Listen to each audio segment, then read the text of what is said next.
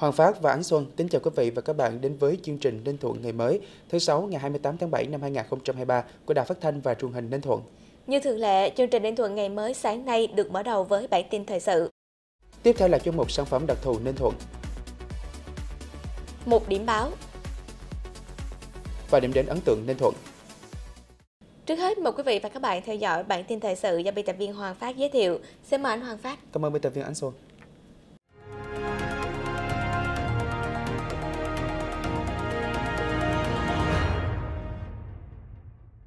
Bây giờ là nội dung chi tiết. Giai đoạn 2021-2023, tốc độ tăng trưởng bình quân giá trị sản xuất của tỉnh Ninh Thuận ước đạt 15,07% một năm, đạt 66,9% so với mục tiêu nghị quyết Đại hội Đảng bộ tỉnh lần thứ 14 đề ra.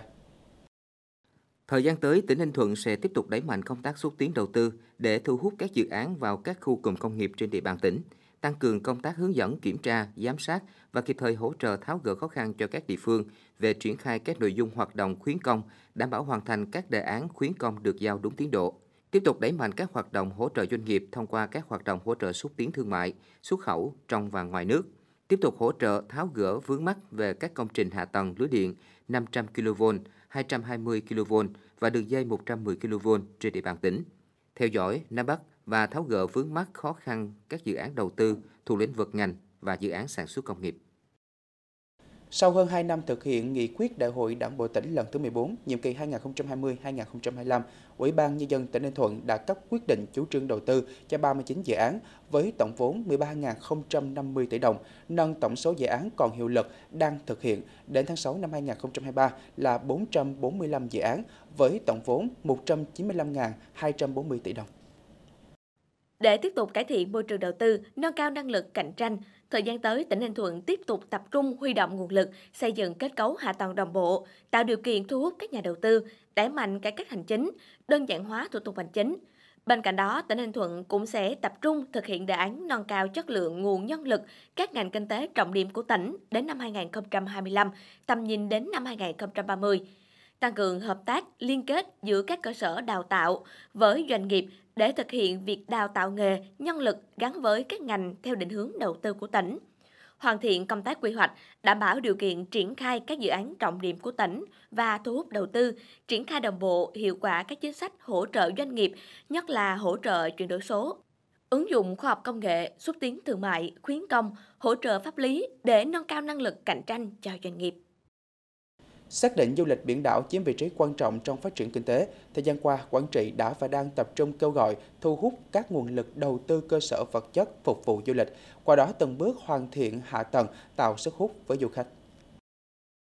Quảng Trị là tỉnh có bờ biển dài 75 km và dọc theo bờ biển còn có nhiều bãi biển đẹp như Cửa Tùng, Cửa Việt, Do Hải, Mỹ Thủy và có đảo Cồn Cỏ nằm cách đất liền 18 hải lý, đã trở thành các điểm du lịch biển đảo thu hút khách du lịch. Bên cạnh việc thực hiện công tác quy hoạch các khu điểm du lịch tiêu biểu của tỉnh,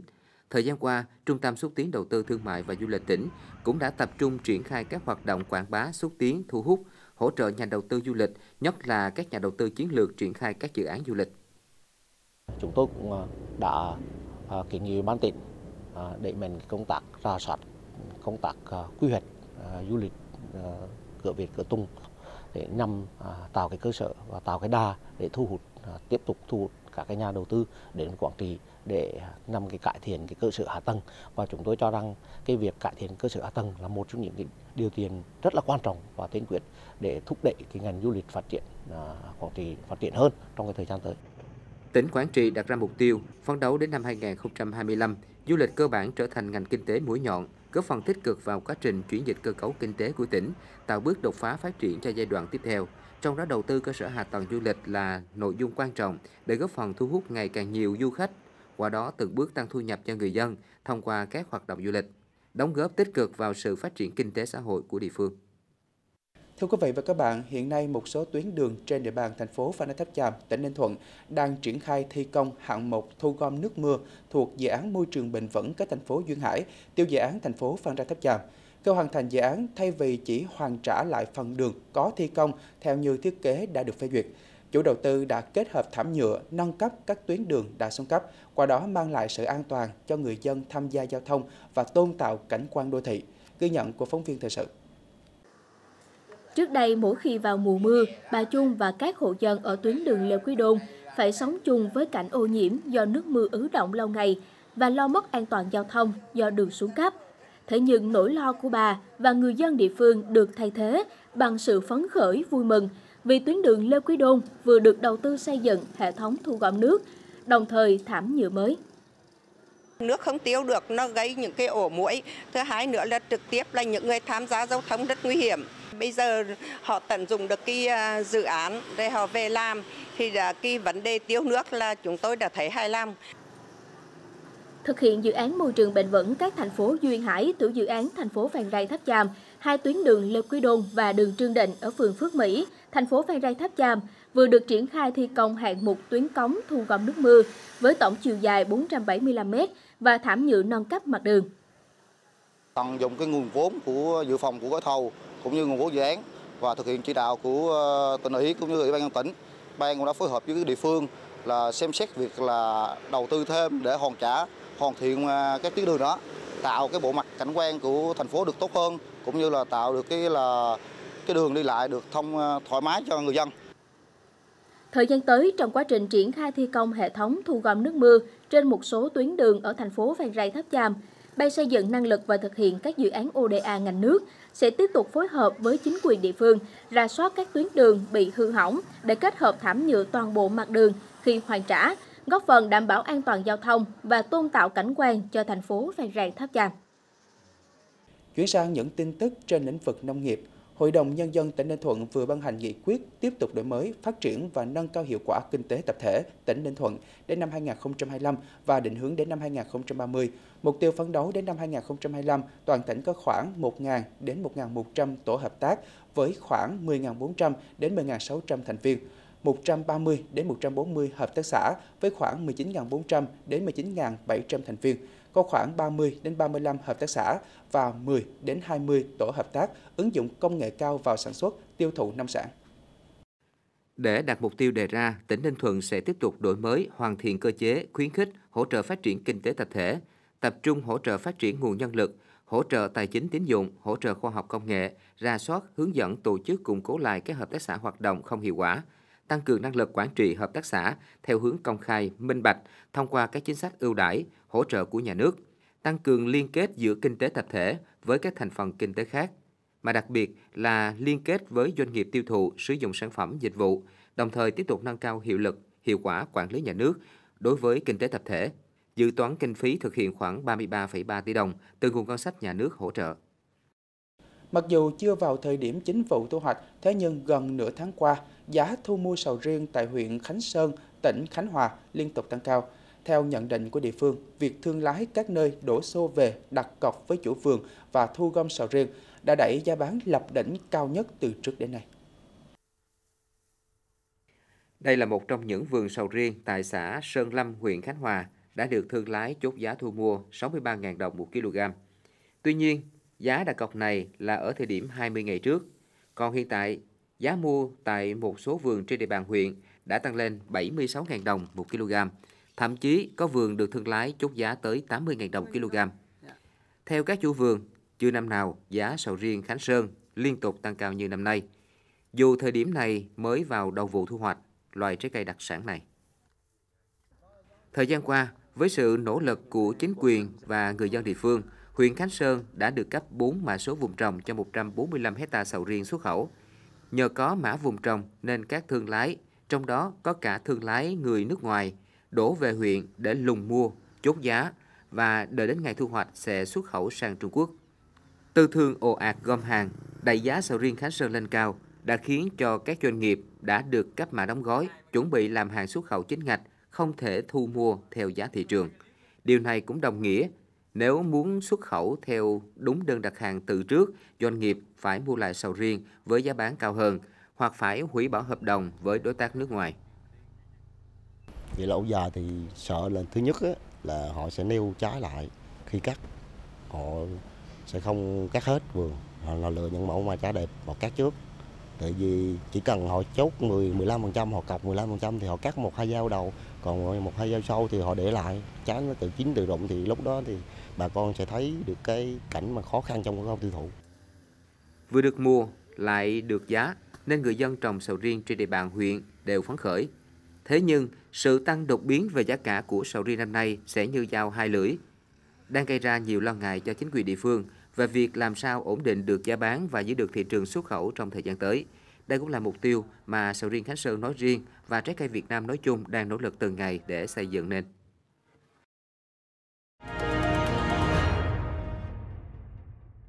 Bản tin tiếp tục với những tin tức đáng chú ý khác. Sau một tháng triển khai chiến dịch 80 ngày đêm thu nhận kích hoạt tài khoản định danh điện tử, đến nay tỉnh Ninh Thuận đã kích hoạt được 153.649 tài khoản định danh điện tử mức 1, mức 2, đạt tỷ lệ 48,12%.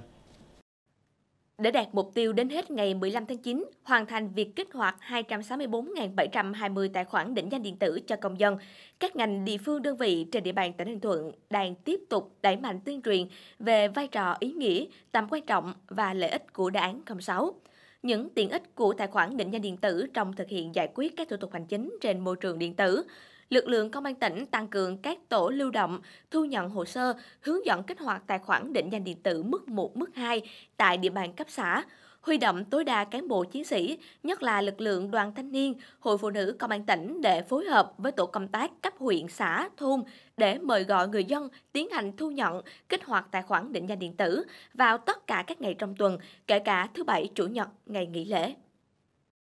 Thời gian qua, nhờ thực hiện có hiệu quả Nghị định số 28 của Chính phủ về chính sách tín dụng ưu đãi, thực hiện chương trình mục tiêu quốc gia phát triển kinh tế xã hội vùng đồng bào dân tộc thiểu số và miền núi, nhiều hộ nghèo ở tỉnh Đắk Lắk đã được vay vốn phát triển kinh tế, xây dựng nhà ở.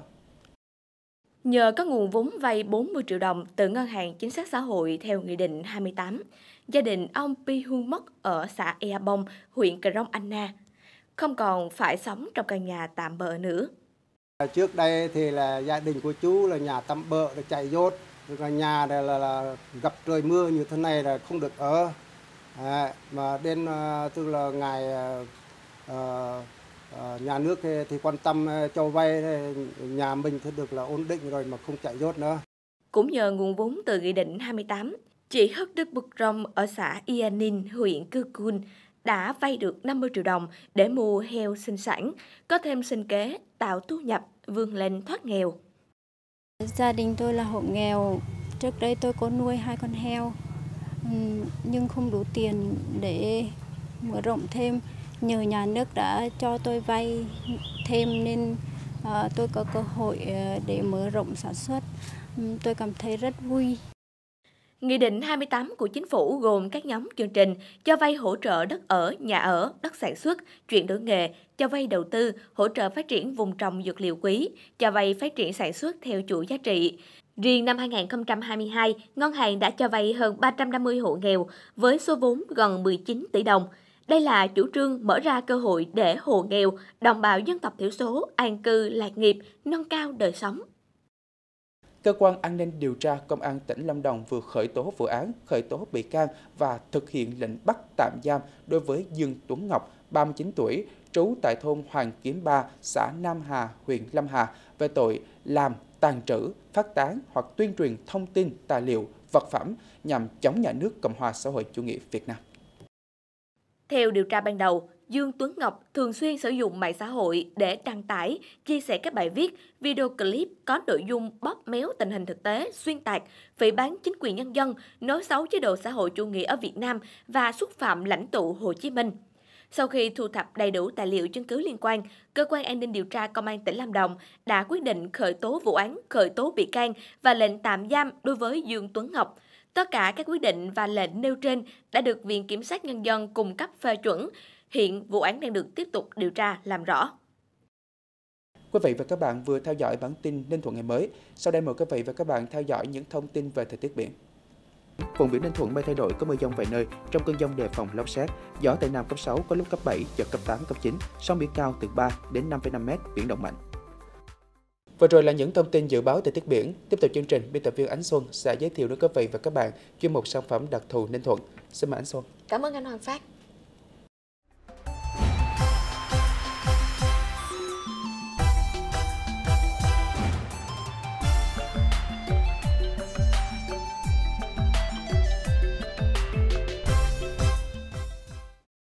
Mời quý vị và các bạn theo dõi chuyên mục sản phẩm đặc thù Ninh Thuận. Thưa quý vị và các bạn, Ninh Thuận là một trong những tỉnh có diện tích trồng cây nha đam nhiều nhất cả nước. Cây dược liệu này chủ yếu được trồng trên những vùng đất cát, cát pha ven biển. Với đặc tính chịu hạn tốt, ít sâu bệnh và cho năng suất cao, cây nha đam đã đem lại nguồn thu nhập ổn định cho nông dân và trở thành một trong những cây trồng đặc thù của Ninh Thuận.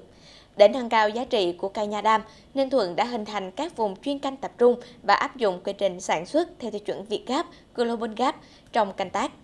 Việc áp dụng rộng rãi các quy trình này tạo ra sản phẩm nha đam có chất lượng, được xếp hạng tiềm năng 5 sao OCOP và có mặt ở các thị trường khó tính như Nhật Bản, Mỹ, châu Âu, v.v. Nhằm thúc đẩy phát triển kinh tế xã hội nông thôn miền núi vùng dân tộc thiểu số của tỉnh giai đoạn 2021-2025 từ nguồn kinh phí hỗ trợ của Bộ Khoa học Công nghệ, Sở Khoa học và Công nghệ Ninh Thuận đã triển khai mô hình sản xuất chuyên canh cây nha đam tại xã Bắc Sơn, huyện Thuận Bắc. Theo đó, công ty cổ phần thực phẩm cánh đồng Việt được Sở Khoa học và Công nghệ lựa chọn để thực hiện mô hình. Dự án có vốn đầu tư 6,5 tỷ đồng, thời gian thực hiện từ tháng 5 2021 đến tháng 4 năm 2024. Công ty cổ phần thực phẩm Cánh Đồng Việt đã thực hiện quy trình ứng dụng công nghệ nuôi cấy mô giống nha đam sạch bệnh và trồng thí điểm 20 hecta tại thôn Xóm Bằng, xã Bắc Sơn, huyện Thuận Bắc với 35 hộ dân tham gia. Ngoài ra, công ty còn đầu tư hệ thống thủy lợi, sử dụng công nghệ tưới nước tiết kiệm. Nhờ đó, cây nha đam phát triển tốt trên vùng đất khô hạn. Ông Thành Lai là một trong những hộ tham gia dự án. Từ hai sào đất rẫy trồng bắp không hiệu quả, ông đã mạnh dạn chuyển đổi sang trồng cây nha đam. Nhờ được hỗ trợ giống hướng dẫn kỹ thuật quy trình trồng và chăm sóc cây nha đam theo tiêu chuẩn Việt Gáp, nên vụ đầu tiên cho thu hoạch đạt năng suất cao từ 3 đến 3,5 tấn trên một sào, mang lại thu nhập ổn định cho gia đình. À, hợp tác xã liên kết cái hợp đồng với cánh đồng Việt tức là bao tiêu sản phẩm cái đầu ra đầu ra cho bà con đó. còn cái mà tức là cái cái mà bên cánh đồng Việt là hỗ trợ giống hợp tác xã cũng đăng ký uh, Việt Ráp cho bà con họ cho bà con người ta làm đó. để sau này nó thứ nhất là sau này nó sau này giá cả tức là dạng mà Việt Ráp thì lúc nào nó cũng cao hơn tức là thông thường. Nhận thấy tiềm năng lớn trong lĩnh vực chế biến sản xuất các sản phẩm sạch từ cây nha đam, công ty cổ phần thực phẩm Cánh đồng Việt đã đầu tư hệ thống máy móc hiện đại để nâng cao chất lượng và năng suất cây trồng, đồng thời đa dạng sản phẩm nhằm đáp ứng các tiêu chuẩn hệ thống quản lý chất lượng từ cây nha đam. Sản phẩm của công ty được chứng nhận là sản phẩm ô cóp tiềm năng 5 sao của tỉnh và được xuất khẩu đến 20 nước trên thế giới, trong đó có các thị trường đòi hỏi các tiêu chuẩn khắc khe như Nhật Bản, Hàn Quốc, Trung Quốc, châu Âu. Công ty cổ phần thực phẩm Cánh đồng Việt à, thực hiện dự án à, nuôi cái mô nó nằm trong à, dự án phát triển à, dự án nông thôn miền núi à, thì ờ, cái dự án này với mục đích là cung cấp cây ờ, giống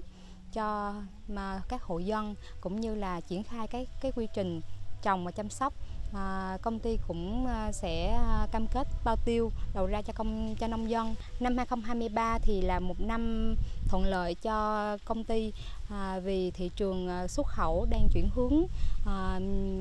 về Việt Nam à, các cái công ty như ờ, ở ờ, Nhật Bản và Hàn Quốc thì ờ, họ đang chuyển dần từ Thái Lan qua Việt Nam. Thì cũng là một cái điều kiện cho công ty à,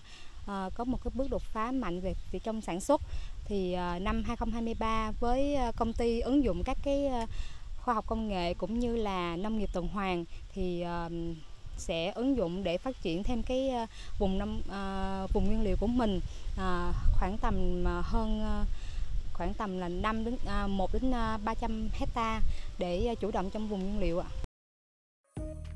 Hiện nay, toàn tỉnh Ninh Thuận hiện có khoảng 350 hecta trồng nha đam với giá cả tương đối ổn định. Người trồng nha đam có thể lãi từ 300 đến 600 triệu đồng trên một hecta một năm. Đặc biệt vào mùa hè, nhu cầu sử dụng nha đam tăng cao, giá bán cũng tăng theo nên các hộ trồng nha đam rất phấn khởi và mở rộng diện tích trồng nha đam dự án này đến thời điểm hiện nay thì chúng ta đã đạt được một số cái kết quả cơ bản. Thứ nhất, đó là chúng ta đã xây dựng được một cái mô hình liên kết bền vững. Bốn nhà, đó là nhà nước, nhà khoa học, nhà doanh nghiệp và nhà nông. Mối liên kết đến bây giờ là bền vững và chúng tôi nghĩ rằng mối liên kết này sau khi được xây dựng thông qua dự án thì nó sẽ được duy trì lâu dài. Hiệu quả đạt được thứ hai, đó là về lâu dài hơn thì doanh nghiệp đã chuyển giao và nắm bắt thêm được cái công nghệ cao trong ờ, lĩnh vực sản xuất nông nghiệp đặc biệt là cái công nghệ nuôi cấy mô nhân giống nha đam để mà có thể ờ, phát triển sản xuất về mặt lâu dài. Người nông dân thì đã được nâng cao về trình độ sản xuất uh, trong cái cái mối quan hệ liên kết này thì cũng đã nâng cao được cái đời sống kinh tế. Một cái uh, hiệu quả nữa cái này cũng sẽ góp phần vào việc chuyển đổi cơ cấu cây trồng và thực hiện được một cái điều mà tưởng chừng như bất khả thi đó là chúng ta đưa được một cái sản phẩm từ một cái vùng như vùng xóm bằng của ờ, huyện của xã Bắc Phong uh, lên đến ờ, một cái nhà hàng thực phẩm ở Hàn Quốc ở Nhật Bản. Đó là cái câu chuyện mà chúng ta đã hiện thực hóa được một câu chuyện mà chúng ta nghĩ là tưởng chừng như là bất khả thi từ thành công bước đầu của dự án, Ninh Thuận đang tiếp tục nhân rộng sản xuất nha đam nuôi cấy mô sạch bệnh, liên kết theo mô hình tổ hợp tác, hợp tác xã với các công ty để nâng cao hiệu quả sản xuất, đẩy mạnh xuất khẩu, góp phần tăng thu nhập cho bà con từ cây nha đam. Vừa rồi là chuyên mục sản phẩm đặc thù Ninh Thuận. Sau đây biên tập viên Hoàng Phát sẽ giới thiệu đến quý vị và các bạn những nội dung có trong mục điểm báo sáng nay. Xin mời anh Hoàng Phát. Cảm ơn anh Sô.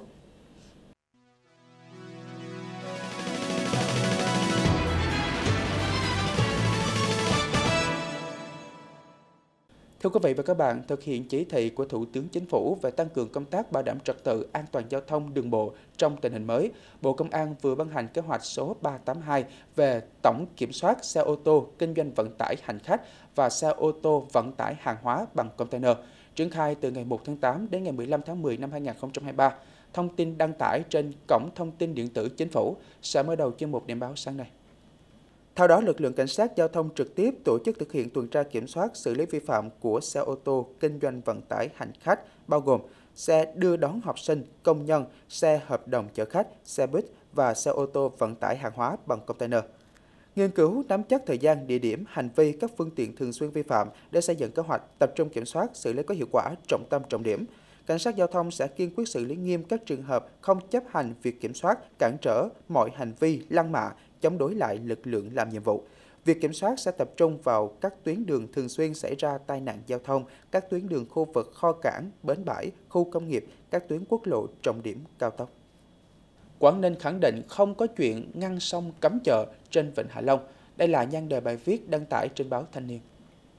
Đáng chú ý, trong văn bản gửi tới Ủy ban Nhân dân tỉnh Quảng Ninh, Ban Quản lý Vịnh Hạ Long khẳng định Vịnh Hạ Long, Vịnh Lan Hà là danh lam thắng cảnh thuộc địa giới hành chính của hai địa phương riêng biệt Quảng Ninh và Hải Phòng. Chính vì vậy, việc các hoạt động tham quan cần tuân thủ quy định của các cơ quan chức năng, không thể thích đi đâu thì đi. Đặc biệt, UNESCO và Liên minh Bảo tồn Thiên nhiên Quốc tế đã khuyến nghị về việc hạn chế số lượng tàu du lịch hoạt động trên Vịnh Hạ Long. Chính vì vậy, việc một số chủ doanh nghiệp kinh doanh tàu du lịch trên Vịnh Lan Hạ mong muốn được đưa khách sang Vịnh Hạ Long thì hai địa phương Quảng Ninh, Hải Phòng phải có sự thống nhất và làm việc với cơ quan quản lý trung ương UNESCO.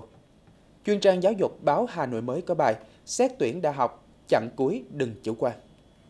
Bài báo cho hay, sau 17 giờ ngày 30 tháng 7, hệ thống hỗ trợ tuyển sinh của Bộ Giáo dục và Đào tạo tại địa chỉ thí sinh chấm thi trung học phổ thông quốc gia sẽ đóng. Dù chỉ còn ít ngày nữa, nhưng đây là thời gian rất quan trọng thí sinh cần thận trọng ra soát, thậm chí điều chỉnh bổ sung nguyện vọng.